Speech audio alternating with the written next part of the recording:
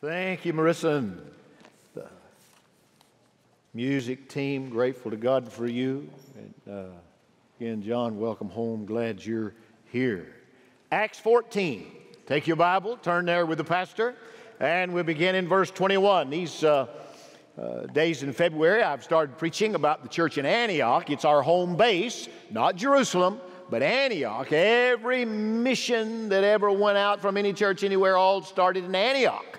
It is our headquarters, our home base. We're going to look at that uh, this morning. There are two Antiochs, but only one uh, that is that home base. And we find that Paul and Barnabas have been sent out from Antioch. They've gone on the first missionary trip, and now they're coming home and they're giving their testimonies about their missionary trip. Let me tell you, giving a testimony is good for church community and building and hearing what God is doing among the people. So I got a question for you this morning. You have a testimony? You have one? Your testimony is God saved me here. God grew me here. And this is what God is doing now, right now, right here in my life. It's not just a looking back, it's not just a rekindling, it's what God has done in the last 24 hours. So I pray you have a testimony. If you don't have a testimony, I'm going to invite you when I give the invitation, you walk right here to the front and say, Pastor, today's my day. The day before Valentine's Day. What a great day to fall in love with Jesus. Amen. Come and say, I want a testimony. I, am coming to give my life to the church and, and membership and joining and have a testimony at my Antioch right here. Well, let the redeemed of the Lord do what? Say so. We ought to have a testimony within us. And we find this testimony right here in Acts chapter 14, beginning in verse 21. And I read through verse 28. You follow along as I read, because this now is the word of our great God. And after they had preached the gospel to that city and had made many disciples, they returned to Lystra, to Iconium, and to Antioch strengthening the souls of the disciples, encouraging them to continue in the faith, and saying, Through many tribulations we must enter the kingdom of God. And when they had appointed elders for them in every church, having prayed with fasting, let me just parenthetically say, April 6 through 15, we're going to have 10 days of prayer and fasting here. I encourage you to join me. Pray wherever you want to at noon or come to the Corners building. I'm going to be there every day, and staff and other folks will be there leading. You come pray with us for an hour, okay? No ice cream, no sandwiches, nothing. No free cookies like you got if you were leading the morning serving. We're praying and fasting. After they had prayed and fa- with fasting, they commended them to the Lord in whom they had believed. They passed through Pisidia, came to Pamphylia. And when they had spoken the word in Perga, they went down to Attalia. From there, they sailed to Antioch. That's the home base from where they had come. From there, they sailed to Antioch, from which they had been commended to the grace of God for the work that they had accomplished. And when they had arrived and gathered the church together, they began to report all things that God had done with them and how He opened a door of faith to the Gentiles. And they spent a long time with the disciples. They were sent out from Antioch. That Antioch is home base. Uh, you would find it just north of Syria today and in present day Turkey. I got a map up here just to show you where the one is, where the number one is. That's, that's Antioch. That's home base, okay? South of there, you go down toward Israel, Jerusalem, the Dead Sea, and all that is down there. Uh, but north, just north of Syria, you find Antioch. They left there, went out into the Mediterranean, to Salamis, to Cyprus, the island, and then up they go to Perga, and you find them going up to number two, Antioch of Pisidia. It's a different place than number one Antioch. This is a second Antioch. But don't miss just to the right and south is a little town called Lystra, L Y S T R A. It's going to be a very important part of the message today of what happened in Lystra. So they came on that missionary trip, some by boat, then by land, and then they turned and came back and wound up back at Antioch giving a testimony. And when they stood up in Antioch, what did they talk about? Well, let me tell you a few things that they would have said. Uh, as Saul and Barnabas stood up, uh, first of all, they would have said, Hey, thank you for sending us out. We got to Paphos and we encountered Elymas, E L Y M A S. He's found in Acts 13 10. And I can just hear uh, Paul standing up and saying, we, we met this dude, Elymas. He is a child of the devil filled with hell. And he came against us. And God gave us victory over a demon possessed man. So what else happened on this missionary trip? They said, Well, we left there. We went down to Pisidian Antioch. They said it was a glorious day. We preached the gospel and they begged us preach more, preach more, preach more. Come back again and again and again and again, just like happens here every Sunday. Well, every now and again, I have people say to me, Pastor, you could have just gone on today. You quit too quick. Others say you, you, preach past the Holy Ghost. Well, I understand that. But uh, here in, in this text, you, you find them in chapter 13, verse 42. Uh, they've just heard for the first time the gospel. They say, Give us more, give us more, give us more. And Paul's given this great testimony when he got there uh, to Antioch. And then he said, Oh, yeah, yeah, one, one more thing. We stopped in Lystra. We were in Lystra, and there was a lame man, and we prayed over him God raised him up and healed him. And he said, Man, the glory of God came. People were astonished. They had known this man all their life. And God gave him legs again. And then some of the people from the pagan temples came running out and tried to deify us. They said, These are gods. And Paul said, No, no, we're not gods. We're men just like you, and nature's just like you. And that so upset some of the people of Lystra, the Bible says that they stoned Saul and drug him out of town and left him as dead. And shortly thereafter, he got up and went on his way. Some commentators believe that he really died and God raised him from the dead because of what Paul said in 1 Corinthians that I knew a man who died and went to the third heaven and came back again. We don't know if Paul's speaking in a biographical way here about his own self. We don't know if he really died or not, but we know they stoned him and thought he was dead and left him for dead. And that's not even the good part of the testimony. He got up and went out and then I want you to notice here's the rest of his testimony. Verse 21 that we just read. And after they had preached the gospel to the city and had made many disciples, they returned to, uh oh, they went back to the stoning place. Lystra, the city of stones. They went back to, I'm, I'm like, beat my eyes out once, I ain't going back. Not this preacher. But they went back to Lystra and they went through those cities strengthening the disciples. Can you imagine? Here's Saul and Barnabas, and they've already been stoned and either dead and resurrected or dead to the point of people thinking they're dead. And now they're going back through and encouraging the saints in that godless place. That was their testimony. They were saying, Look what God did with us on this trip. Do you have a testimony? You have one? I've asked two people to come and share a testimony with us today, right in the middle of my preaching. Uh, first of all, Marissa Holmes is coming right now, and uh, her family is going to join her here, and uh, Marissa is going to share. Uh, she's a high school student here in our ministry. And right after she finishes, Joe Ehrenfeld is going to come. And they're sharing what God is doing in their life. They'll use this microphone right here. Marissa, thank you. Oh, here she is. You step right up here.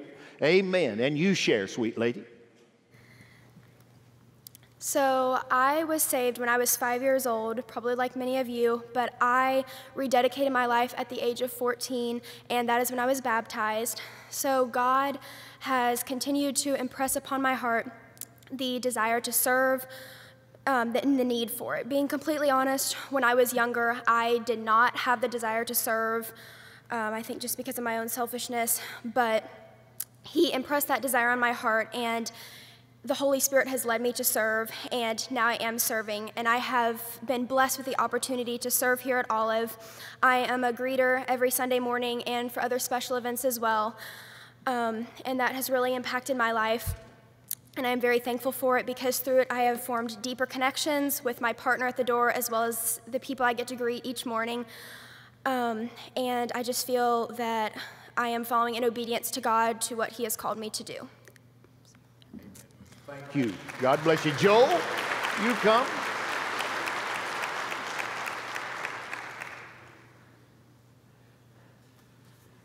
Good morning, church.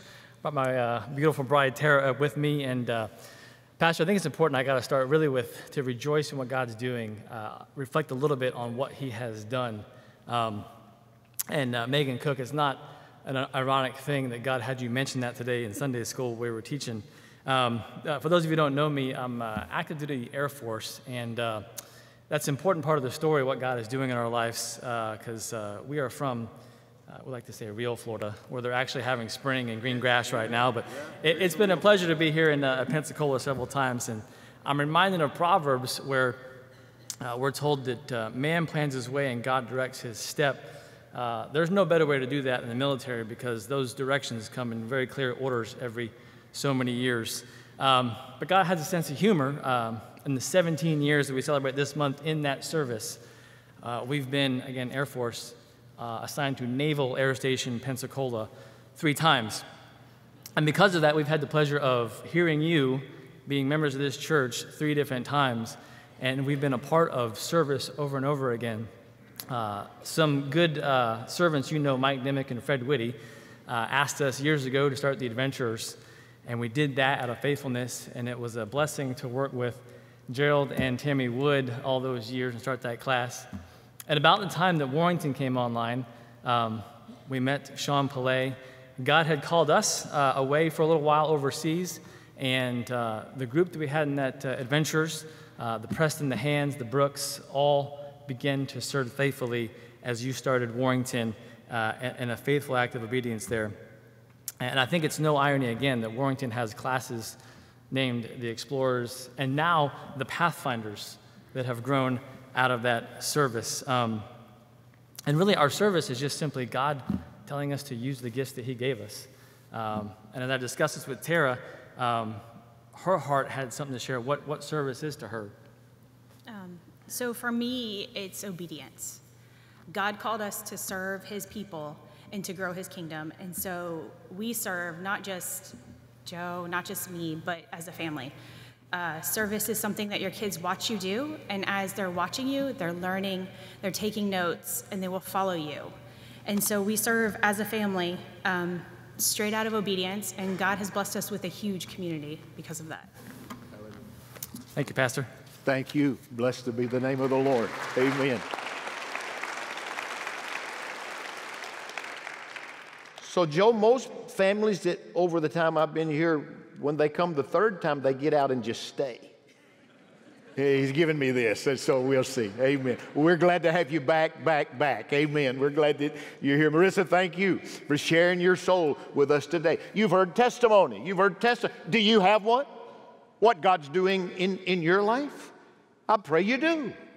And if you do, you need that testimony to be anchored in an Antioch in a church like this church, like this church in Antioch. What does that look like as we come together as a family and serve and have our testimonies all together? I want to show you four principles of Antioch And that's where we need to be in our lives. First of all, about this church, this anchor church in Antioch, where they were giving their testimonies and where all of us give ours, first of all, the gospel is our primary focus. The first thing we do is the gospel.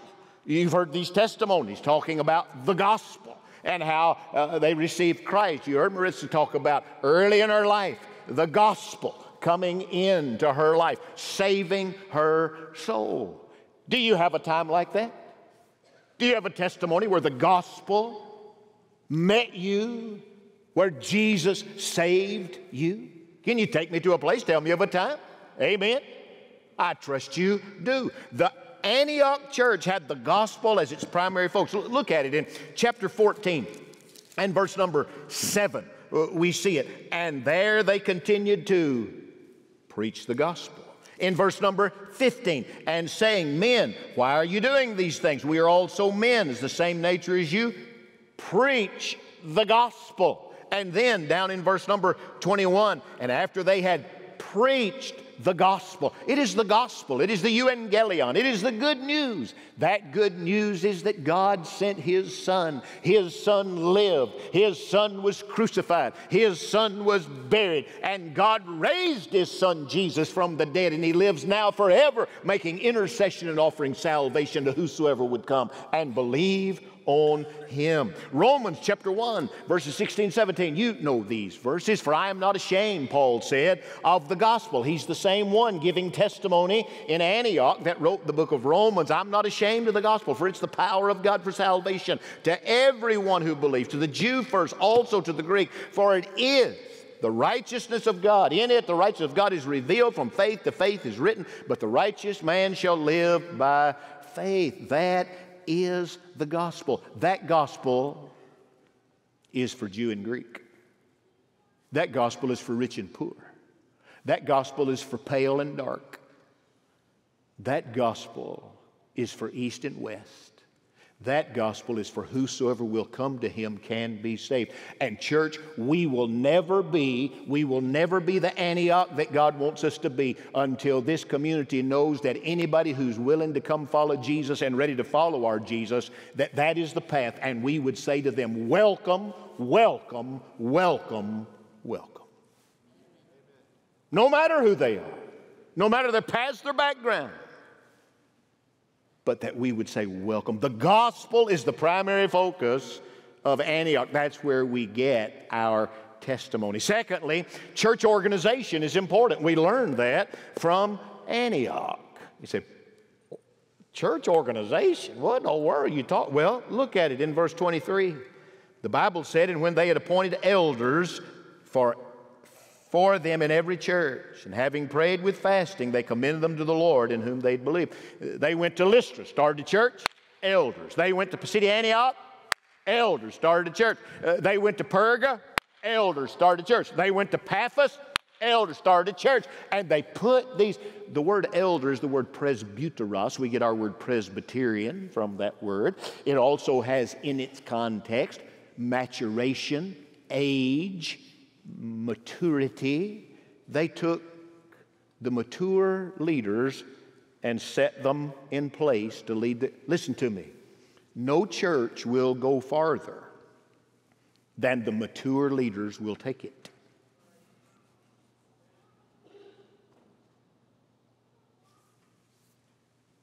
In our fellowship, we have pastors. On our staff, we have these that serve in varied ways, and most of them uh, have an elder function. Then we have deacons that serve our church. We meet this Thursday night. We just ordained five new men uh, as deacons. It took us forever to ordain them, but we got it done.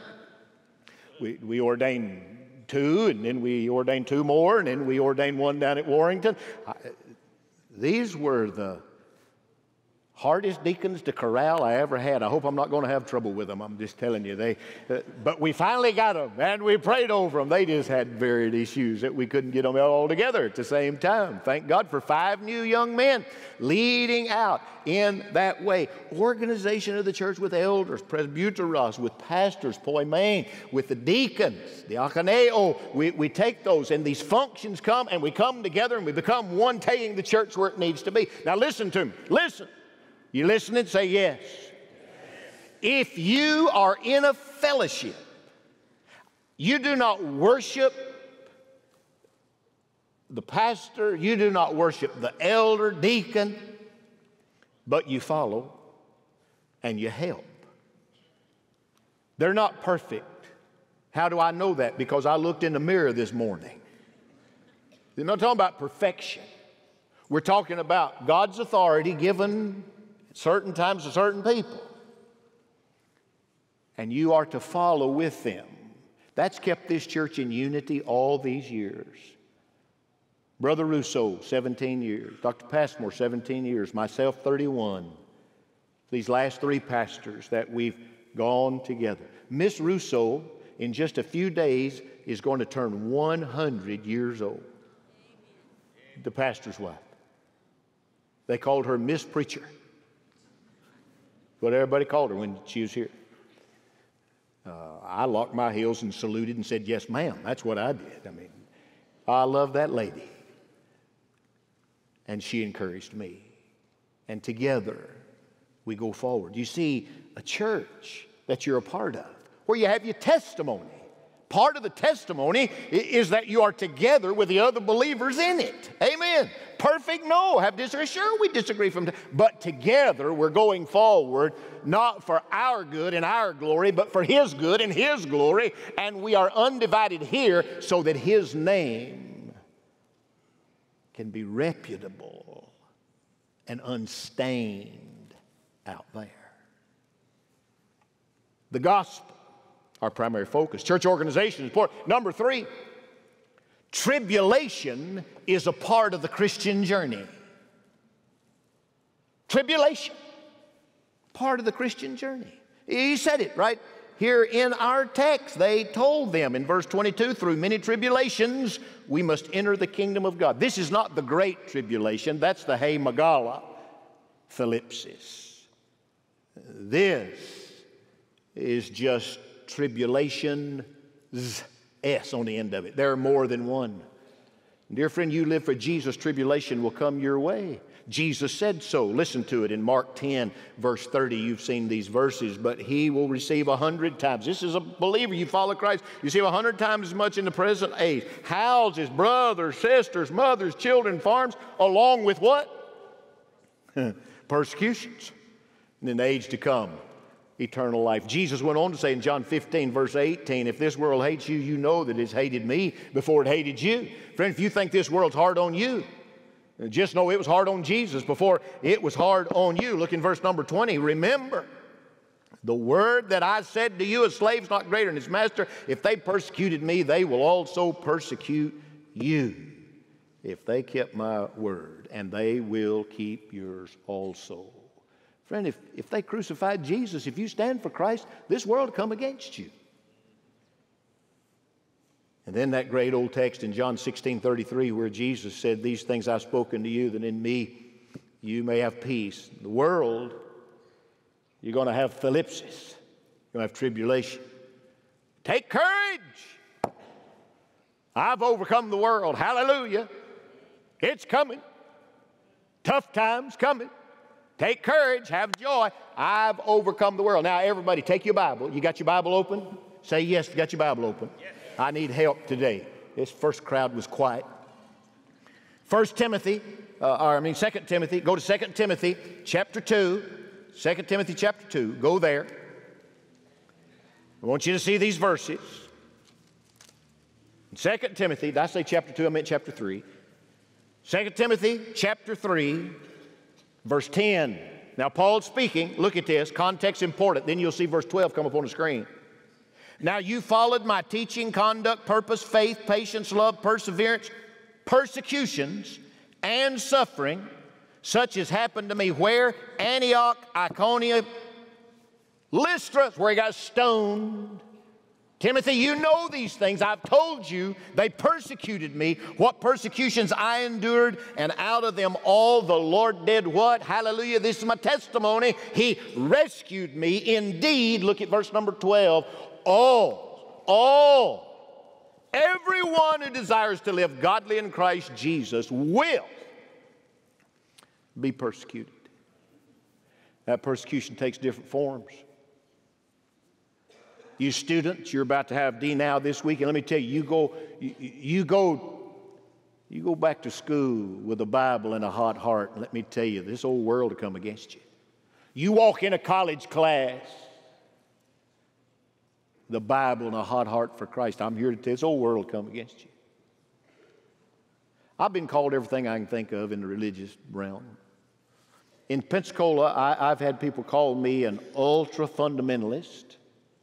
I've had people call me a left leaning liberal.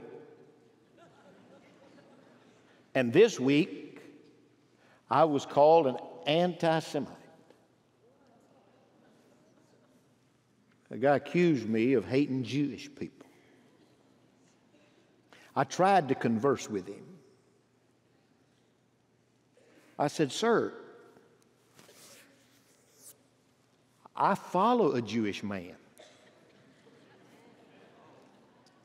Uh, this Jewish man died for me. He began to say certain things we do as a church are anti Semitic. I couldn't get to first base. Listen to me now. You take a stand for Christ, you'll have people come against you. There, there'll be a fight. Now, you don't look for a fight. I, I, don't like believers that are just looking for a fight. I know some people think they're more spiritual the more they fight. But you don't have to look for a fight, it'll look for you. It'll look you up. You don't have to go hunting a fight, but you cannot run from it either. When perse- you, you know why persecution, persecution comes for two reasons. The Lord allows it for two reasons. You know why tribulation comes in your life? Number one, He toughens the spirit of the believer through tribulation. That's the second reason. The first reason is that He brings us to spiritual brokenness and we get over ourselves. I prayed it early in the service. And I'm going to give it to you again now. Some of you picked up on it because it was a weird prayer. This was my prayer.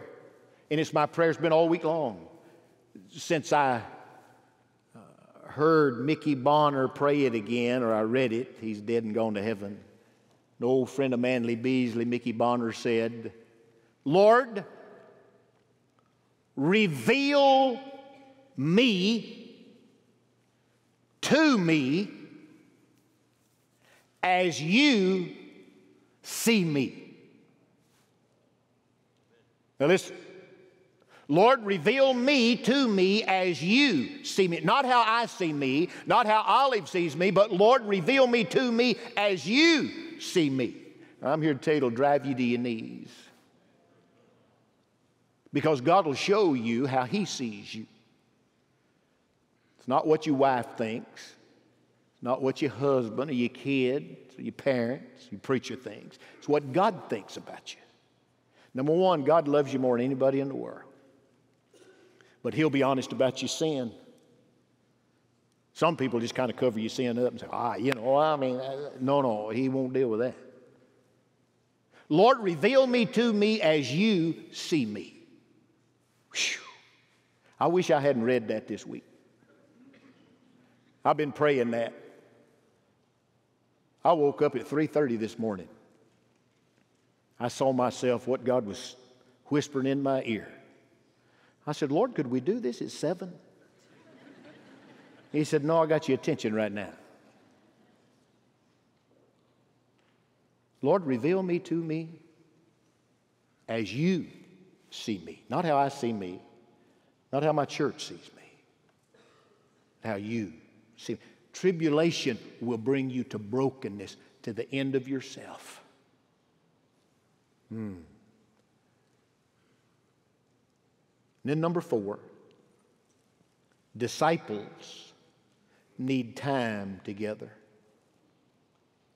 Verse number 28, and they spent a long time with the disciples. G. Campbell Morgan says the Greek context of a long time is at least a year. That when they came back to Antioch before they went on mission trip number two, they spent at least a year with the disciples. Verse 21 says they made disciples. Disciples are made. You must win disciples and then you make disciples. You grow them up. In verse 22, it says they strengthen the souls of the disciples. Their time. Do you know how you make disciples and how you strengthen them? Listen to me. T I M E time. You don't make disciples in the classroom. Classroom's good, but it's just the start. Preaching's good, but it's just the start. You got to hang out to make disciples. Amen. You got to walk and talk and real living. That's how you make disciples. 47, 48 years ago, I became the pastor of the New Lebanon Baptist Church in Odenville, Alabama. We had 44 in Sunday school the first Sunday I was there we started preaching.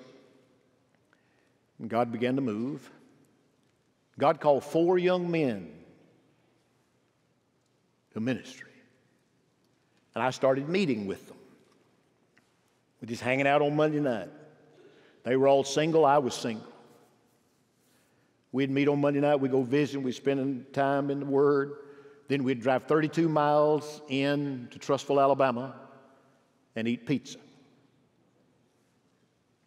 Dave Paxton used to tell me, Pastor, the greatest spiritual gift to the church is pizza. He said, but more people discipled one to the Lord over pizza than any other two the Lord's ever used. That's what Paxton used to say. Of course, he used to jump out of the ceiling too, so he's crazy. But you understand this fellowship factor. You hang out in the kitchen with other people. I'm just telling you, you can talk to them about Jesus. Coffee shop. So I hung out with these old boys. One of those men, his first name was Frank. The first time he ever came to New Lebanon Baptist Church, he came drunk on a Sunday morning. Drunk. Sat on the back row. Now, that's no offense to anybody on the back row, all right? I'm just telling you. Matter of fact, the back row was just about right here in that little church. And he just laid back there. And I preached, he didn't move except to grunt. I went to his house. He wouldn't talk to me. I went in the front door and he went out the back door.